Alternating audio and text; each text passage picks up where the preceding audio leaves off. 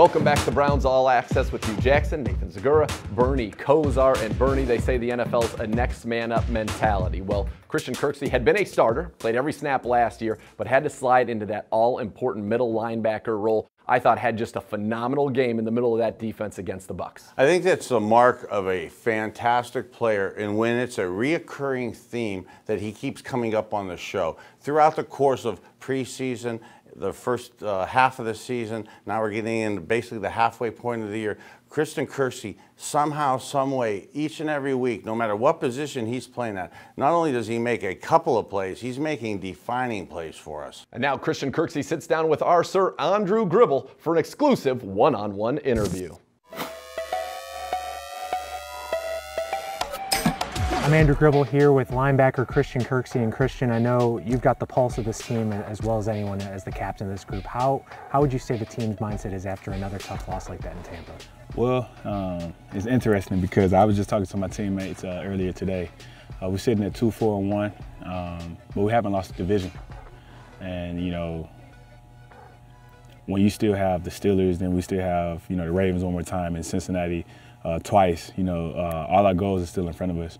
Um, I'm a guy that's super optimistic, and I think that you know every game is winnable. So from this point on, it's like, all right, let's set a new goal, and that's you know 11, 4, and one. Yeah. You know, um, and I think that this mindset of this team is okay. We're just trying to find a way to get over that hump and find a way to, you know, finish ball games. You know, being um, four games overtime, and you know that's a lot of wear and tear on your body. But it just goes to show you the fight in this team and the fight in these men in this room. He takes a high snap. Winston throws right down the middle, and that is picked off. Christian Kirksey is second of the year, and in as many weeks. You mentioned the, the, wear and tear. The defense played a season high 95 plays in Tampa in the hot sun. You guys have had a lot of games with a lot of plays. How are you feeling physically, and how, how do you see guys holding up through all well, this? Well, as a professional, you know, you got to, you know, stay in the training room, um, not for you know injuries or anything, just you know stand on top of your body, you know uh, maintenance uh, with your body. So uh, you know I feel good. Uh, I'm used to it.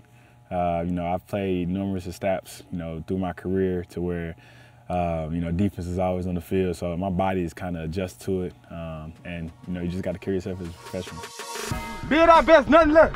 We win this week, man. Hey, it's still this week. We got to go harder, man. Let's go.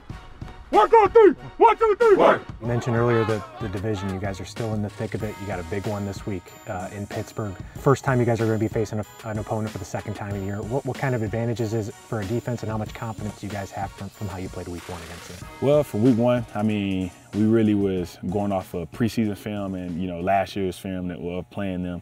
And now going and playing them in the second time, we know who they are. You know, uh, you know, we have a lot of games that we can watch that they played this year. So now we can say, okay, they do this, they do that. And we know they're key players that they go to. And like you said, we already tied them for the first game. So now we really can go in and, and master our game plan because we know, okay, this is what they did to us last time.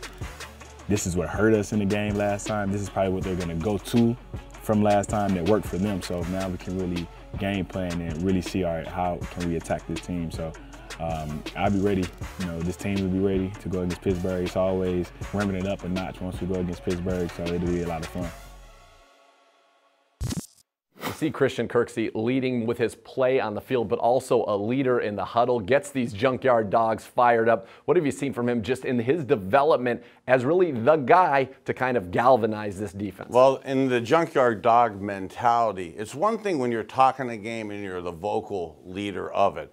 But what really makes it extra special is when you're doing a lot of that talking, that his play backs it up. And he's making big plays and backing up that leadership talk. And that's what I really get impressed with is seeing him game in and game out making a defining game-winning play. Yeah, he's had his hand in three takeaways in the last two games alone. The Browns defense taking the ball away 20 times this year, most in the NFL. Now, don't you go away because we'll be back with more of Browns All Access with Hue Jackson. The Browns tied a franchise record by playing their fourth overtime game this year. What other year did the team also play in four overtime games in the regular season? Was it A, 1980, B, 1989, C, 1994, or D, 2002? Find out the answer when Browns All Access returns.